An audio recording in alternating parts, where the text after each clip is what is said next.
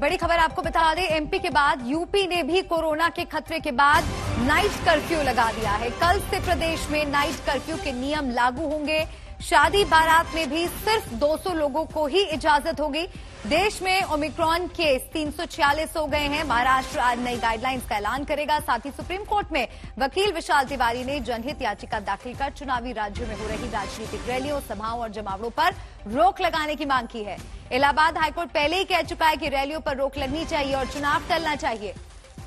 अभिषेक मिश्रा मेरे सहयोगी लखनऊ से मेरे साथ जुड़ रहे हैं। अभिषेक का क्या क्या गाइडलाइंस उत्तर प्रदेश में जारी की गई है? नाइट कर्फ्यू को लेकर क्या नियम?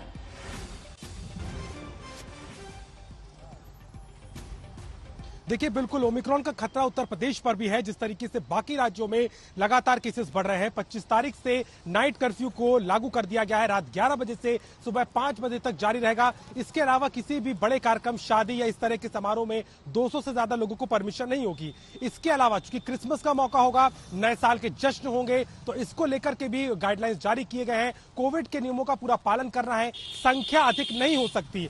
कई क्लब्स और कई इस तरीके के होटलों ने अपने कार्यक्रमों को रद्द भी कर दिया है क्योंकि इस बार जिस तरीके से लगातार मामले बढ़ रहे हैं चूँकि यूपी में फ़िलहाल तो दो ही मामले ओमिक्रॉन के सामने आए हैं लेकिन खतरा टला नहीं है। लगातार जो सस्पेक्ट है उनकी संख्या बढ़ गई है जो साढ़े चार हज़ार से ज़्यादा है जिनकी स्कैनिंग हो चुकी है। तो ऐसे में यूपी तो सरकार ने भी कड़ा और अहम कदम उत्तर प्रदेश सरकार द्वारा क्योंकि जिस तेज़ी से जिस रफ्तार से ओमिक्रॉन के मामले देश भर में बढ़ रहे हैं उसी को देखते हुए राज्य सरकारें तमाम तरह की पाबंदियाँ लगा रहे हैं।